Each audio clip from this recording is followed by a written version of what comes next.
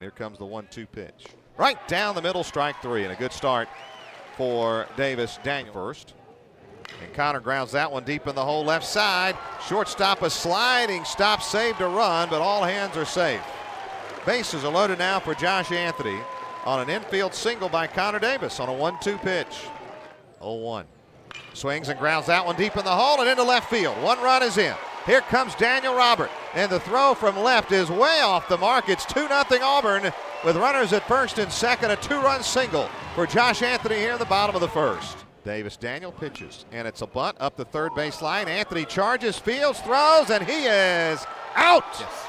And the 2 2 pitch. Swing and a miss. He got him, and the inning is over. The line now, long run. Daniel Robert going over. Foul ground makes the catch. The 2 pitch from the freshman.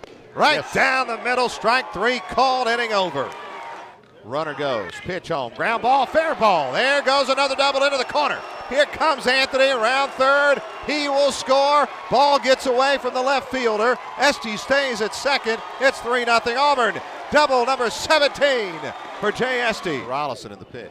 Swing and a fly ball into right center field. That one's fairly well hit and dropped. Olenek dropped the ball.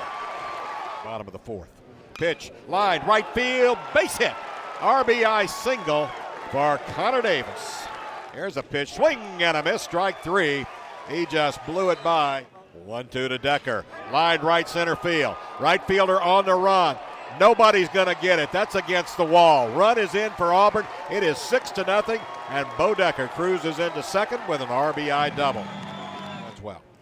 1 1 line deep left field, way back. It is going to be off the top of the wall. Two runs are in. Robert will cruise into third. Connor Davis walks into second with a two run double, and it's 9 to nothing.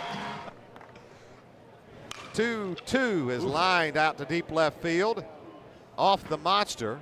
Decker plays it well. The throw back into second base. He is out. Oh, what a play by Decker. Scoreboard. 2 0. Popped him up. Left side. This should do it. Who wants it? Holland called off by Schaefer, and the Tigers have won the series. 9 to 1 the final tonight, and they'll go for the sweep tomorrow on Senior Day.